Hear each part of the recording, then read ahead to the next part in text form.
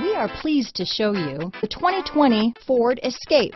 Gas engines flex, tow, sip and go with Ford Escape. This vehicle has less than 100 miles. Here are some of this vehicle's great options.